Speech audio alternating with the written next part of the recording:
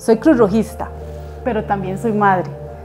Hoy quiero felicitar a todas las madres de Costa Rica. Gracias por su dedicación, gracias por su valentía y sobre todo por el amor que nos dan todos los días.